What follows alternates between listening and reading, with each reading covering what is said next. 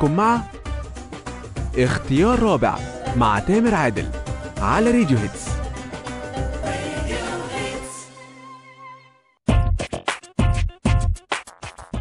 مساء الخير عليكم جميعا وكل سنة وأنتم طيبين. حلقة جديدة من اختيار رابع على راديو هيتس 88 عايز أرحب بكل الناس اللي معانا النهارده في الحلقة اللي هيبقوا معانا واللي معانا من قبل الحلقة ما تبتدي بدقيقتين كمان. آه النهارده 2 8 2012 والساعة دلوقتي واحدة ونص بالظبط بتوقيت القاهرة. اظبطوا ساعاتكم على اختيار رابع واظبطوا ساعاتكم دايما مع راديو هيتس 88 2 وانتوا عارفين في اختيار رابع دايما بسألكم سؤال وبديكوا ثلاث اختيارات وانتوا بتختاروا من الثلاثه أو بتختاروا اختيار رابع كل واحد على مزاجه. متهيألي النهارده السؤال هيعجب الناس شوية أو ممكن يجي على مزاج بعض الناس. إحنا ليه في مصر بنحب المسلسلات التركي والأفلام الهندي؟ ده سؤال دايما بيؤرق ناس كتير جدا. يمكن أنا اتكلمت فيه قبل كده بس اتكلمت فيه بشكل مختلف. فالنهاردة هديكوا ثلاث اختيارات. إحنا ليه بنحب المسلسلات التركي بالذات بقى الكئيبة والأفلام الهندي اللي هي مفيش طبعا أكئب منها؟ هل لأننا بنح... بنموت في النكد؟ ولا هل لأننا آه، شايفين إن الأعمال المصرية رديئة جدا فإحنا مش هنتفرج عليها بنتفرج على حاجة تانية؟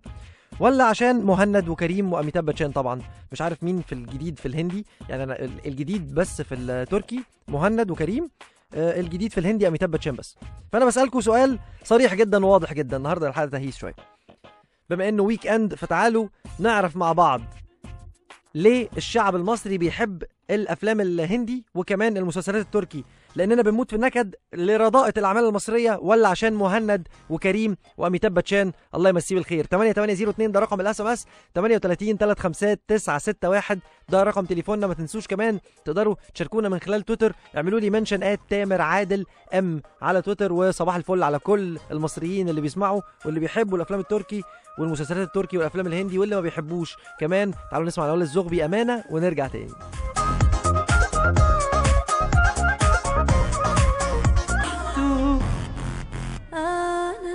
سمحت اختيار رابع. مع تامر عادل على راديو.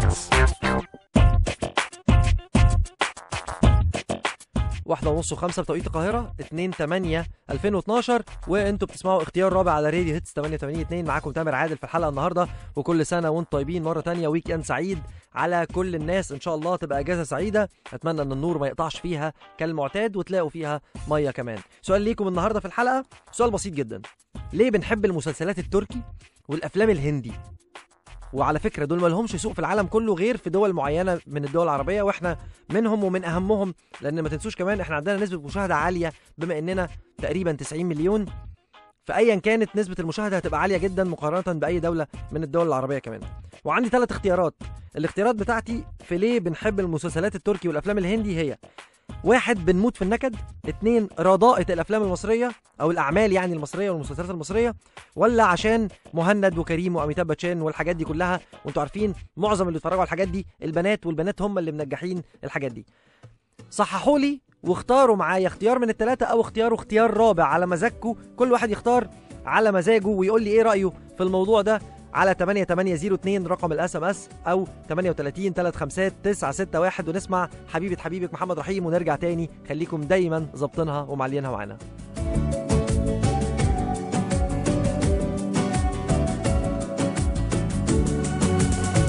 راديو هيتس.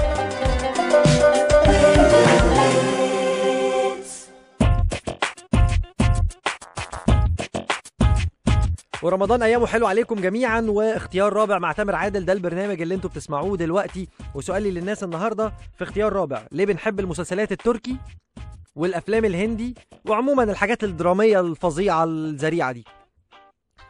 واحد لأننا بنموت في النكد اتنين لأن في رداءة كبيرة جدا في الأعمال المصرية. أنا بقول يعني دي اختيارات مش لازم يعني ده مش رأيي عشان محدش بس يفهمني غلط. ولا عشان آه معظم اللي بيتفرجوا على الحاجات دي بنات وهم بيبقوا معجبين جدا بمهند وكريم وأميتاب باتشان والحاجات دي كلها. معلش على أيام أنا كان أميتاب باتشان معرفش في الهندي مين الجديد دلوقتي لو حد يعرف ممكن يساعدني على 8802 رقم ال SMS في كذا حد مختارين رقم ثلاثة وفي واحد بس مختار آه، رقم واحد بنموت في النكد وفي أكيد عشان مهند وكريم وأميتاب برضو تاني ده وحيد وحيد شيكو. ومساء الفل يا أستاذ تامر. أنا شايف إن الفراغ والرومانسية التافهه السبب وعجبي ده سيد سواق. لا هي الرومانسية نفسها ما هياش تافهة. يا عم سيد يعني بس بس ه... لو هي دي الرومانسية لا يبقى ما يبقى كل سنة وأنتم طيبين. يعني هل الرومانسية إن أنا أقعد أتفرج على مسلسل أنا بيان عن نفسي ما بستحملش خالص مهند. بعدين لو قارنا ما بين الأعمال تفتكروا إيه اللي ممكن تتفرجوا عليه أكتر؟ لو حاليا بيتعرض مسلسل زي مثلا فاطمة و... ومهند والحاجات دي مسلسل جديد في رمضان وبيتعرض الأعمال المصرية الدرامية الجامدة جدا اللي نازلة اللي أنا يعني مش يعني مش كلها حلوة طبعا. حاجات قليلة جدا منها بس اللي كويسة. لو ده نازل قدام ده هتتبعوا إيه في رمضان؟ هتتبعوا إيه ال- المصري ولا التركي؟ يعني خلونا بس كده نحسبها بالشكل ده. وقولوا لي هتتفرجوا على المصري ولا التركي أكتر على 8802 رقم ال SMS عشان نوصل في الآخر لل conclusion أو الاستنتاج بتاعنا. هل إحنا إحنا بنحب النكد فعلا؟ إحنا بنموت في الحاجات دي؟ ولا فعلا الأعمال المصرية لا تصلح لأننا نتفرج عليها فبالتالي بقينا نتجه للتركي وبقت السوق المصرية سوق مفتوحة جدا للمسلسلات التركي والأفلام الهندي طبعا من زمان والمصارعة والكلام ده كله؟ ولا آه، هل لأن البنات هي بس اللي بتتفرج على الحاجات دي؟ وعشان مهند شكله حلو كريم شكله برضه حلو أميتاب باتشان أكيد كان شكله حلو still شكله حلو حتى لما كبر عامل دوجلاس بيضة كده. 8802 رقم ال SMS وتعالوا نهيس كده مع بعض النهارده وحلقة مختلفة من اختيار رابع معاكم تامر عادل ونسمع Rihanna Russian Roulette ونرجع تاني على راديو هيتس. خليكم دايما ظابطينها ومعلينها ومخلينها معانا.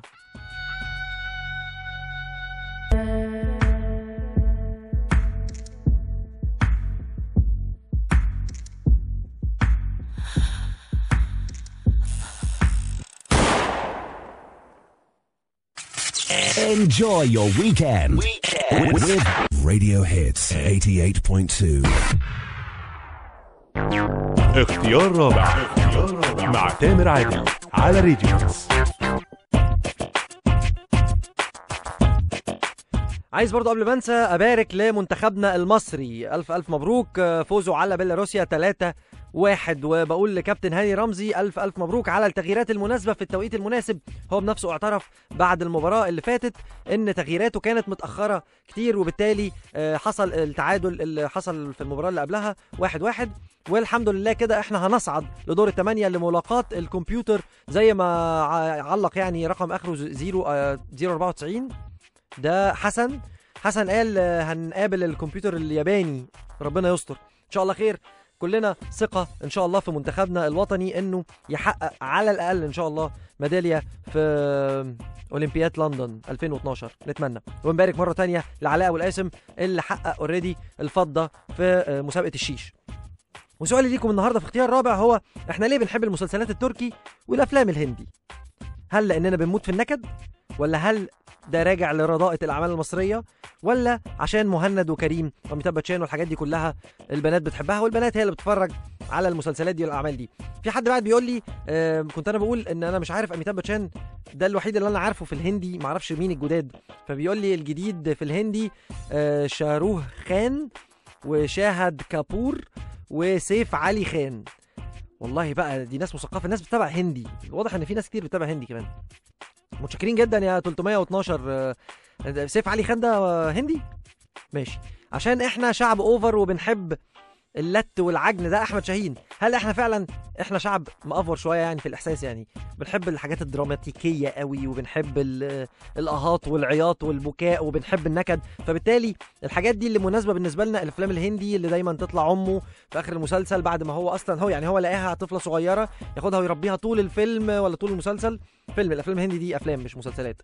يفضل ياخدها يربيها حوالي مثلا ثلاث ساعات ونص أربع ساعات طول الفيلم وأنت تقوم وتنام وتنام وتقوم. وفي الآخر يكتشف إنها خالته بقى أمه وصاحبته وبنته وأخته. لازم في الآخر يتقابلوا كلهم العيلة مع بعض. مش عارف الأفلام الجديدة ماشية على نفس ال sequence ولا لأ؟ بس هي عموما أفلام أفورة بالنسبة لي يعني. فأنا بأيد وجهة نظر أحمد شاهين. إسلام بيقول صباح الفل يا تمورة وحشني جدا الاجابه تونس بيهرج. إسلام صباح الفل عليك يا عم إسلام.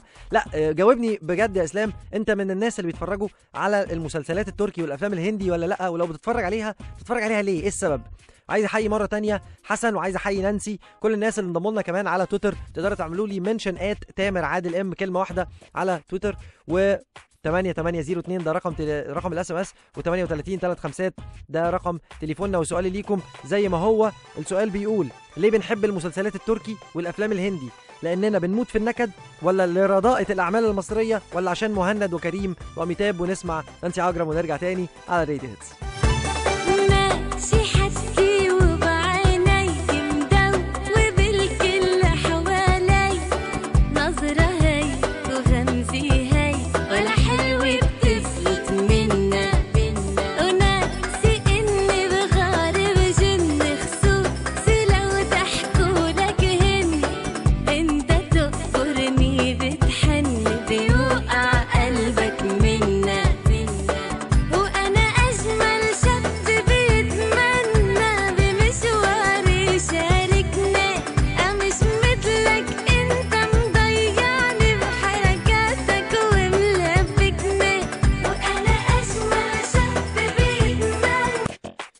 يقول الأعمال المصرية السنة دي آه، سيئة للغاية وواضح إن هو يعني من كلامه إنه مش راضي حتى عن أكبر النجوم اللي موجودين السنة دي في السباق بتاع المسلسلات.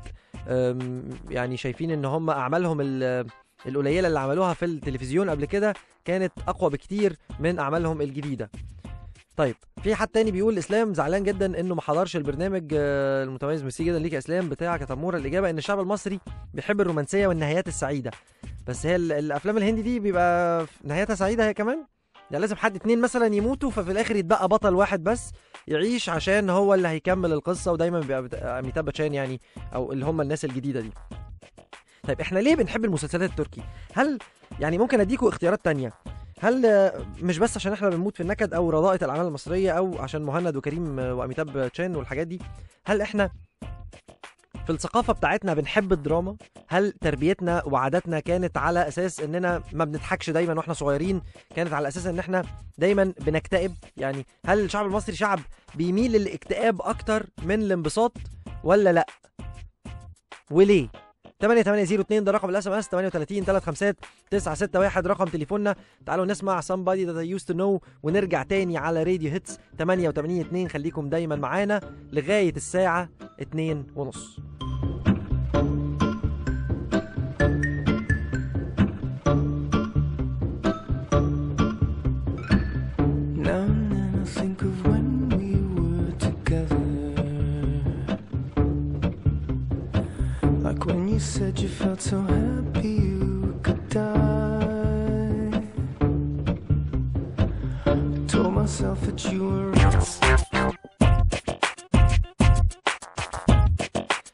ومكملين حلقتنا في اختيار رابع. الساعة دلوقتي 2 بالظبط بتوقيت القاهرة. اظبطوا ساعاتكم دايما معايا.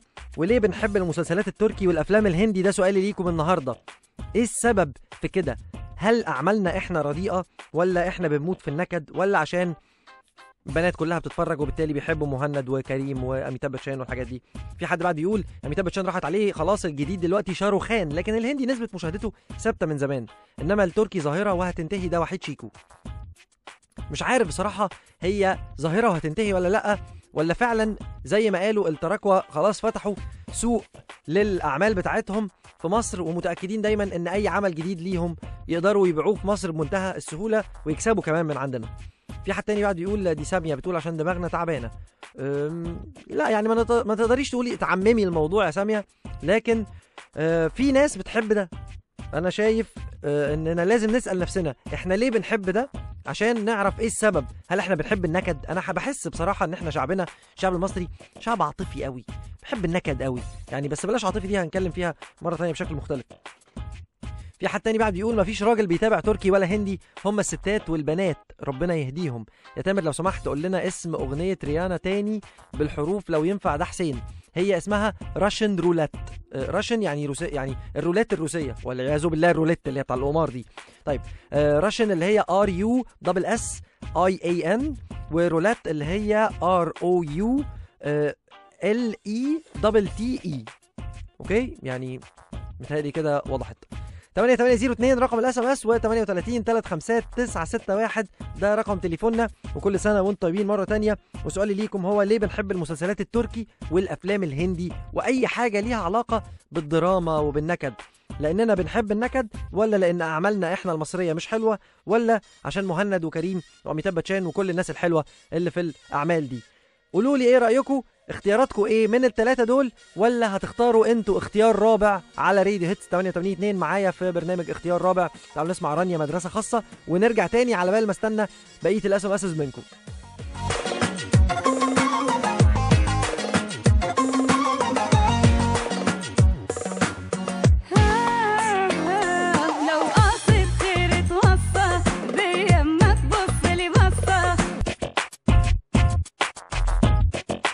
ونرجع لكم مرة تانية بعد ما سمعنا رانيا مدرسة خاصة وفي حد بعد يقول عشان في الهندي في استعراض حلو. الحقوا. ده في حد معجب بالاستعراض. هو الاستعراض ده كويس طبعا يعني بس يعني مش ما بتحسش إنها مملة شوية أو طويلة؟ والفيلم نفسه بيبقى برضه ممل وطويل. ما بقولش إنه وحش بس طويل قوي ودايما بيبقوا بيهجصوا جامد وأميتاب باتشان دايما يقوم شادد الطيارة بحب يعني أنا شفته في فيلم مش هنساه خالص وأنا صغير. آه، كانوا خطفوا حبيبته وركبوا الطيارة فبعد ما ركبوا الطيارة كان في حبل نازل من الطيارة طبعا. فهو مسك الحبل وفضل بقى عم حاطط رجليه في الأرض كده والطيارة طالعة وهو حاطط رجليه في الأرض جامد لغاية ما لقى عمود نور قام رابط الحبل في عمود النور قامت الطيارة قعدت تتهز تتهز وقاموا نازلين بحبيبته تاني عشان طبعا هو شد الطيارة بالحبل. وده استعراض برضه على فكرة. يعني إذا كنت بتتكلم على الاستعراضات الحلوة وده برضه استعراض. آه. أنا سيد سمير صاحب إسلام الرخ يا الله الله. يا تمورة الإجابة إن مصر خلاص خدت على الدراما حتى في حياتها الطبيعية. حلو. إحنا ليه بنحب الدراما يا جماعة؟ ليه يعني ليه؟ آه إحنا عندنا طبعا في حياتنا بنصور دايما يعني دايما الأعمال الفنية هي صورة أو مراية للواقع. حلو إحنا الواقع عندنا زي ما في حاجات وحشة أكيد في حاجات حلوة. ليه دايما الشعب المصري ميال للحاجات الدرامية قوي؟ أو معظمه يعني مش عايز أقول كله. وليه بنحب المسلسلات التركي والأفلام الهندي؟ لأننا بنموت في النكد ولا لأن الأعمال المصرية مش حلوة ولا لأن مهند وكريم وأميتاب باتشان بيحوزوا على إعجاب البنات. في حد تاني بعد بيقول لا هندي ولا تركي أنا أصلا راسي بتوجعني وبصدع من اللهجة الهندي. لو رجعنا للعربي هنعرف إنه أحسن ومن فات قديم وتاه. دي حبيبة حبيبة كلامك ظريف جدا بس أنا مش بقارن ما بين اللغتين دلوقتي. يعني يعني ده موضوع تاني خالص.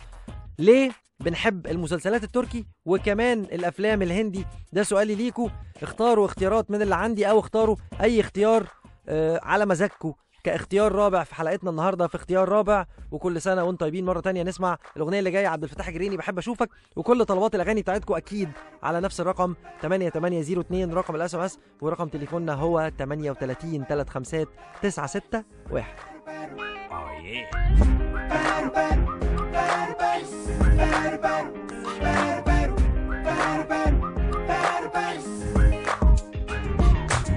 بحب أشوفك كل ثانية تفوت عليا قصاد عينيا ده أنا لو بس تبعد عني ثانية اختيار رابع مع تامر عادل على راديو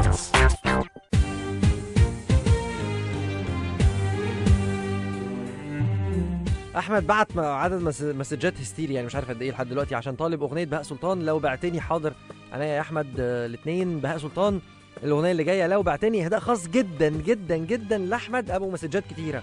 وسؤالي ليكم مرة تانية هو إحنا ليه بنحب المسلسلات التركي والأفلام الهندي وكل حاجة فيها دراما وعياط ودموع وأهات والكلام ده كله؟ أنتوا عارفين طبعا. لأننا بنموت في النكد لرضاءة الأعمال المصرية ولا عشان مهند وكريم وأميتاب باتشان دول حلوين جدا بالنسبة للبنات والشباب المصريين مش مقنعين قوي يعني. 8802 ده رقم ال SMS قولوا لي إيه الاختيارات بتاعتكم أو اختاروا أنتوا اختيار رابع معايا في الحلقة. لو بعتني قول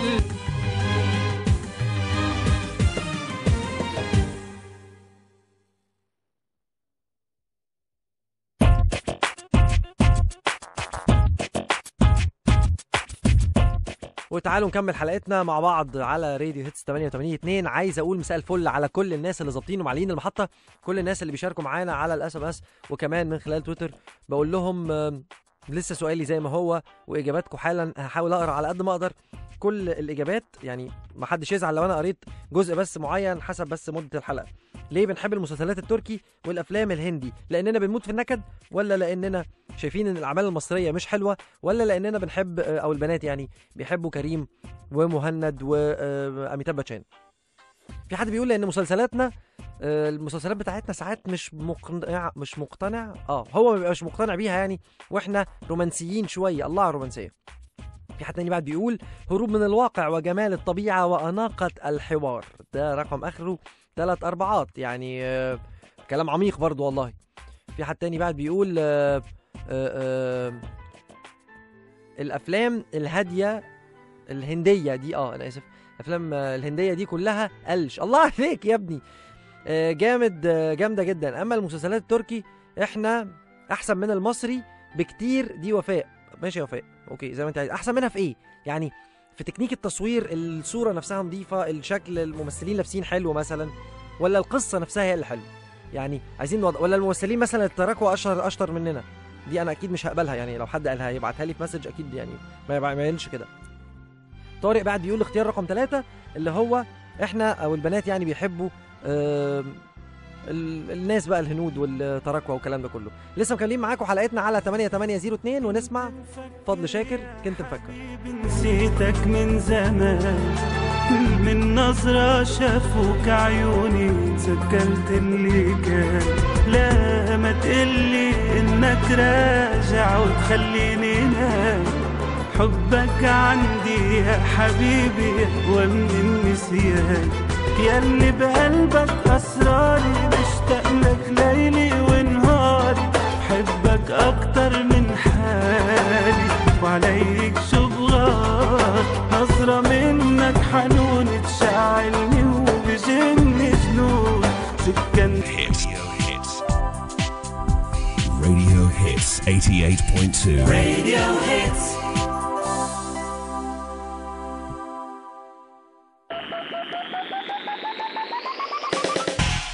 للإعلان على شبكة إذاعات راديو ميل راديو هيتس ميجا إف إم ونغم إف إم وكالة صوت القاهرة الوكيل الإعلاني الحصري تليفون 333 750 22 فاكس 333 750 99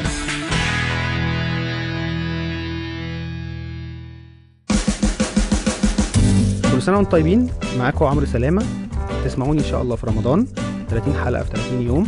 هنتكلم في مواضيع مهمة تهمكم زي ما هي بتهمني.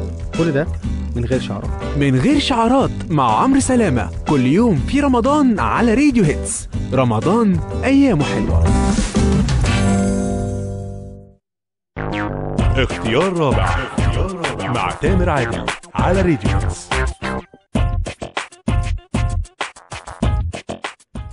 مكملين اختيار رابع واختياراتنا قربت تخلص ولا إيه؟ رورو بعتها بتقول الأفلام الهندي فيها خيال البنات ومواضيعها مفيدة لكن المصريين أفلامهم بقت إغراء. لا مش الدرجه دي يعني. وبعدين الأفلام المصرية أفلام محترمة جدا. وفي آه، يعني أفلام آه، على مستوى عالي جدا من الجودة سواء في الكتابة سواء في الإخراج في التصوير في ال- يعني في كل حاجة. يعني مش عارف في التمثيل. يعني بلاش الحكم بلاش التعميم ده يا رورو. مساء الفل عليكي. في حد تاني بعد بيقول يمكن الشعب المصري بيدور على حاجة جديدة وناس جداد وممثلين آه، مع إن أفلامهم ومسلسلاتهم شبه بعضها. ودي عادة الشعب المصري العالم يبقى بيسمع حاجة وإحنا بنسمع حاجة تانية خالص. أنا معاك بقى في الحتة دي. يعني إحنا مش دايما بنواكب ال- العالم في كل الحاجات الكويسة والحاجات الوحشة. إحنا يمكن آه، حاجات معينة بس اللي بناخدها من ال- الغرب أو الأجانب عموما يعني اللي مش مصريين.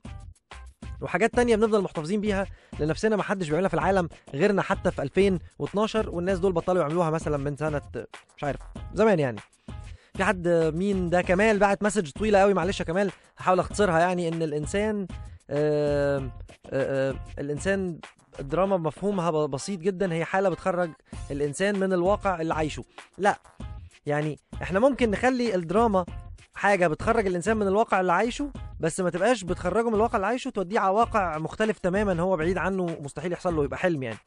متهيألي الدراما لازم تكون مراية للحقيقة بس بشكل أحلى شوية تخلي الإنسان خارج من العمل الفني وهو برضه متفائل وعنده استعداد يواجه الحياة عنده استعداد يقابل بكرة عنده استعداد يروح البيت لمراته يلاقيها بتقول له فين الفلوس عشان إحنا النهارده اتنين في الشهر فأنت لسه ما قبضتش يعني الإجراءات دي كلها. بلاش نسرح بعيد وليه؟ برضه مرة تانية سؤالي ليكم ليه بنحب المسلسلات التركي والأفلام الهندي؟ لأننا بنموت في النكد ولا لرضاءة الأعمال المصرية ولا عشان مهند وكريم وأميتاب باتشان دول حلوين جدا والبنات المصريات بيحبوا آه، شكلهم فبالتالي بيروحوا لهم وهم دول بس اللي بيتفرجوا على الأعمال دي.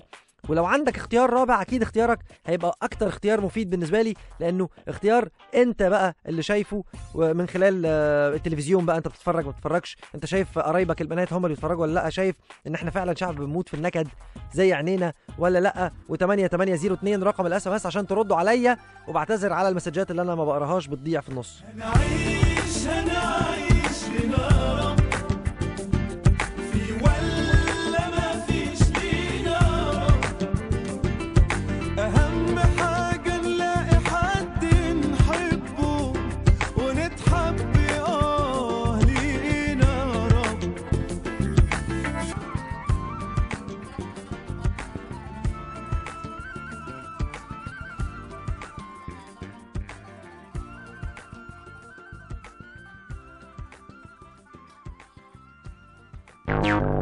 اختيار رابع مع تامر عادل على راديو.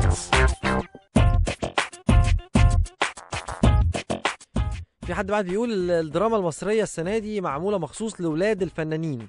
يعني آه هو في مشاركة عالية السنة دي فعلا. آه، في حد تاني بعد بيقول أنا ما بطيقش أتفرج على المسلسلات التركي دي لكن بحب الأفلام الهندي من وأنا صغير. آه، أوكي يعني أنت حر. أنا النهارده بصراحة ما كانش فيه هدف كبير قوي يعني من الموضوع إن أسأل إحنا ليه بنحب المسلسلات التركي والأفلام الهندي؟ عشان في الآخر نوصل لكونكلوجن إن إن مثلا إن مش ايا كان يعني. لا هي الفكرة كلها إن إحنا كنا بندردش مع بعض وأنا عشان كده كنت بسأل وكان سؤالي ليكم النهارده ليه بنحب المسلسلات التركي والأفلام الهندي؟ اكتشفت إن إحنا فعلا شعب بيموت في النكد. اكتشفت إن إحنا فعلا في عندنا جزء كبير جدا من الرضاءة في الأعمال المصرية. واكتشفت كمان إن في بنات كتير بيحبوا مهند وكريم وأميتاب باتشان. ده حقيقي. واكتشفت إجابات تانية واختيارات رابعة لكل الناس اللي كانوا معانا النهارده على الهوا. عايز أشكر كل الناس اللي قريت مسجاتهم واللي ما قريتش. الناس اللي كانوا معانا على التليفون وكمان على تويتر. وبكرة آه، أجازة وبعده أجازة الجمعة والسبت. ويكند سعيد لكل الناس. هكون معاكم يوم الأحد إن شاء الله. في ابدا يومك الصبح وكمان في اختيار رابع في نفس الميعاد من واحدة ونص لاتنين ونص ظهرا كل يوم ما عدا الجمعة والسبت. ويكند سعيد وكان معاكم تامر عادل في اختيار رابع ونسمع فيروز. آخر أغنية وسلام. مهما يصير.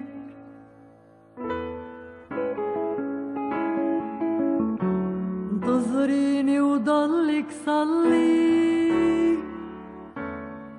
الله كبير